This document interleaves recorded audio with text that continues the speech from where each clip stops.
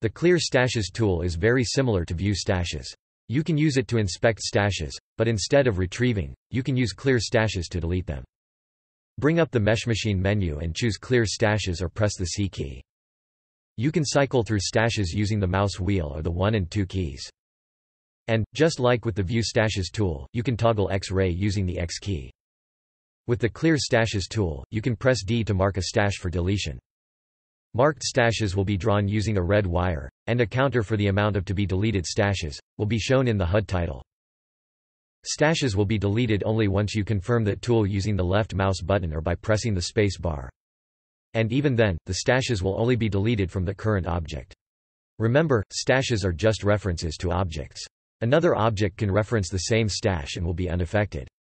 Check out the Remove Orphan Stashes tool, to permanently remove a stash object from a blend file. From the initial four, there are now only two stashes left. The tool can also be used directly from edit mode.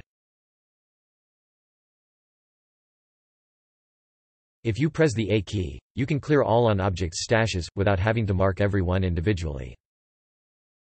All the sphere's stashes have been cleared now. Check out the Stash Orphan tools, to learn about stashes, that aren't referenced by any object anymore.